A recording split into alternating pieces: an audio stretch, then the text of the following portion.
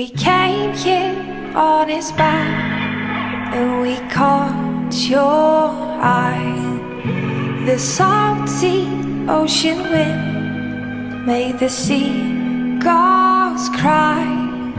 The rocking of his house had me holding on, but I knew that I was safe from there on.